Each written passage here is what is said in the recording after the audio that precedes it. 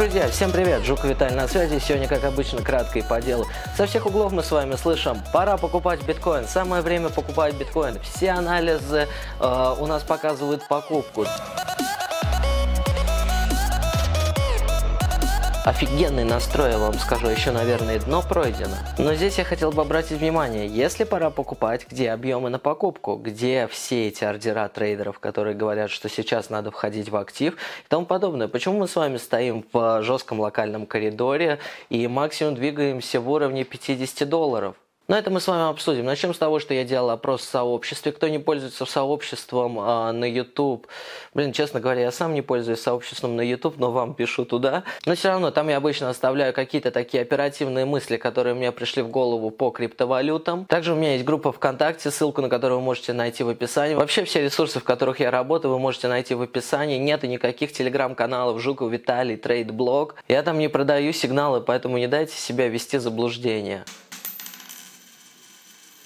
В общем, в сообществе я поделился своими соображениями по поводу фильма «Крипто». Но так как мои сообщения в сообществе смотрят не вся моя аудитория, я решил также обозначить этот момент в видео. В общем, один подписчик мне написал то, что есть фильм «Крипто», то, что он посмотрел трейлер, вроде прикольный. Я никак на это не обратил внимания, потому что, ну, те, кто помнит, я даже делал супер трейлер. Мистер Оушен, а чем вы собираетесь заняться в случае освобождения? Майнингом. Нас было пятеро, и нам хотелось нехило заработать. И майнинг был лучшим решением. Видеокарточки было сложно достать, но они были нам нужны любой ценой. В итоге мы запустили фермы, и наша жизнь изменилась до тех пор, пока в игру не вступили маркетмейкеры. Ниже 18 с половиной я сбросить просто не могу.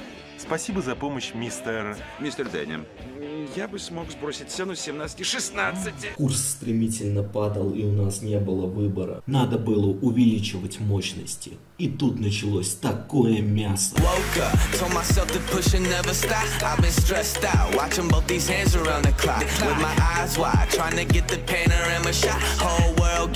К сериалу «Майнеры» первая серия, которого, кстати, уже вышла, такой дикий шлак. Ребят, ну как вам вообще даже тупо не стыдно такое снимать. Знаешь, просто, сука, жесть. Фильм «Взломать блогеров», мне кажется, интереснее. На помощь! Поэтому команде сериала «Майнеры» хай-хай, а моей аудитории вопрос. Хотите ли, чтобы я сделал разбор этого сериала, я не знаю, в стиле какого-нибудь Афони или еще кого-нибудь?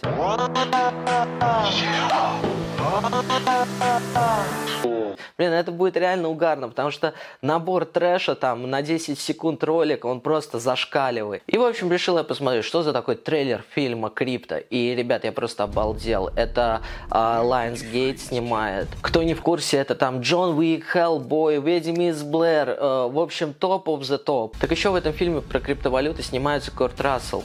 Криптовалюты, русская мафия. Ребят, это на самом деле, мне кажется, вполне осознанный шаг для того, чтобы популяризировать криптовалюту. Если я загоняюсь по этому поводу, э, оставьте в комментариях свое мнение. Действительно будет важно мне это узнать. В сообществе абсолютное большинство людей сказали, что эта новость довольно серьезная. Потому что, понимаете, э, как минимум прокат будет в США, э, прокат будет 12 апреля. Когда он будет в России и СНГ, пока неизвестно. Но фильм снят очень дорого. Я думаю, в любом случае в какой-то прокат он пойдет идет. А, ребят, ну, блин, как бы люди, которые не в курсе о криптовалюте, а поверьте, таких выше крыш. Ребята, это мы тут с утра до вечера на эти графики молимся, анализируем, прогнозируем. А есть люди, для которых, в принципе, слово биткоин – слово абсолютно новое.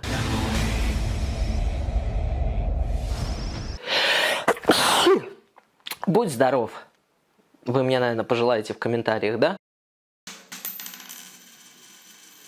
Ребят, еще есть довольно интересные новости, но давайте для начала разберем, что у нас по главному криптоактиву. Сегодня, наверное, только разберу биткоин, потому что, э, в принципе, движение альтов сейчас напрямую зависит от битка. Да, в процентном соотношении они, конечно, интереснее, но все равно на данный момент рынок замер и ожидает, какие движения покажет нам топ-актив. Друзья, напомню, в прошлом выпуске от уровня 3800 долларов я ожидал роста. Этот рост мы с вами увидели, соответственно, это разбор был локальных движений, краткосрочных. А, единственный момент, что я ожидал роста до уровня 3 950, но 4000 это вообще край. На это нам с вами подкинули объемов, и здесь очень важно. Мы с вами, во-первых, дошли до уровня 4080 долларов, но эта штука вообще не важная. Важное то, что мы с вами консолидировались в уровне 4000 долларов. Вот это вот хреново. Почему так? Данная консолидация, она находится выше над предыдущим торговым каналом, который у нас был до дампа биткоина. Соответственно, уровни предыдущего канала на данный момент выступают у нас поддержками.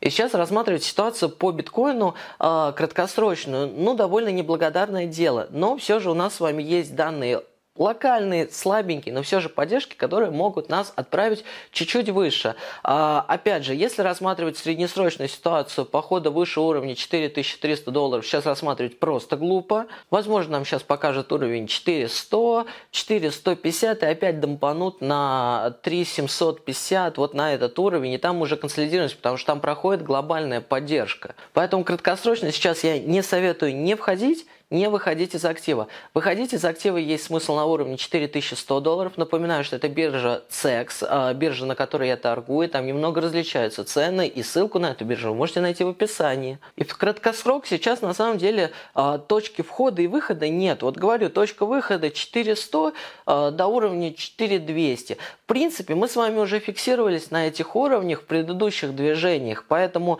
ну, например, вот лично у меня ничего не поменялось. То есть я не входил ни в какие сделки, сделки. У меня сейчас а, основа в фиате, а, и вот плюс-минус на том же уровне. Вот у меня средняя цена выхода по эфиру была 139 долларов, но сейчас он плюс-минус только и стоит, там прыгает до 143, там у него ограничение, у него сопротивление 143, 145, а выше его не пускает и не пустит в ближайшее время. Если рассматривать ситуацию среднесрочно, несмотря на то, что сейчас идет зомбирование, вообще масштабное зомбирование трейдеров, здесь рассматривать а, какой-то рост over там 4 700, 5 500 просто нету смысла. Да, кто-то рассматривает, но я просто не понимаю, почему. Объемов нету, действительно объемов нету. Мы находимся у очень сильных а, границ сопротивлений, у глобальных границ сопротивлений. Здесь наибольшая вероятность уйти в середину глобальной фазы накопления. Это уровень 3 3500, 3600. Да, у нас есть уровень 3750, да, он себя зарекомендовал,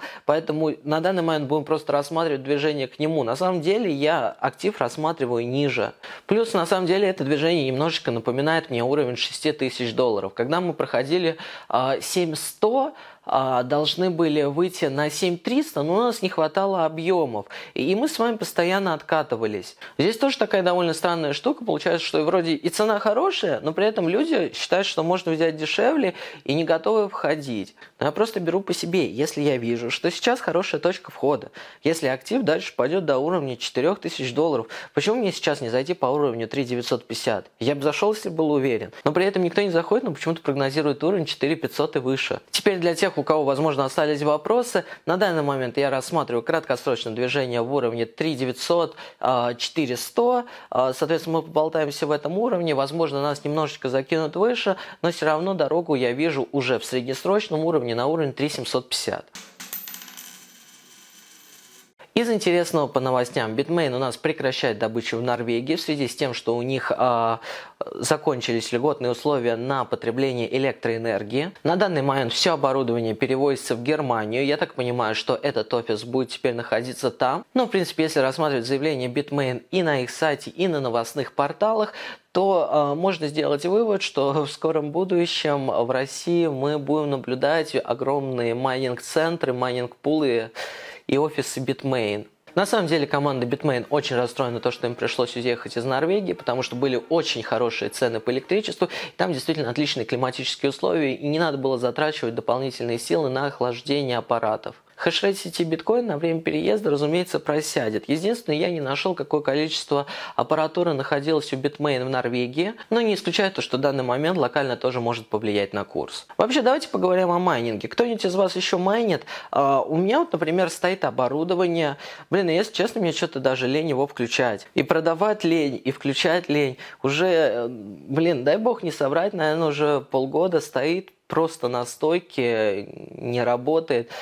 Вроде как надо продать, но что-то так лень этим заморачиваться. С другой стороны, вроде и нахожу очень а, большое количество новостей, то что действительно есть алгоритмы, на которых а, мало-мальски, но все-таки данные карты приносят доход. Мне очень интересно ваше мнение в комментариях. Не подумайте, то, что я как-то накручиваю комментарии. А, просто действительно вот собраться мне силами и продать э, майнинг оборудование, лучше действительно на эти средства перезайти в криптовалюту или все-таки поддержать его, а может быть вообще продать поштучно, я не знаю. Сейчас уже есть 20 поколение карточек, но по цене и добыче они абсолютно несопоставимы с предыдущим поколением. Поэтому, в принципе, для майнинга выгодно предыдущее поколение. Действительно интересно ваше мнение, стоит ли продавать? Или все же вы считаете, что сейчас стоит запустить данное оборудование, пусть оно майнит там вообще в мизерный плюс, но зато в момент пампа это все окупится многократно. Интересными новостями, своими соображениями по движению цены я с вами поделился. Вы в свою очередь поддерживайте видео лайком или лайком, оставляйте свои мысли в комментариях. А если не подписаны на мой канал,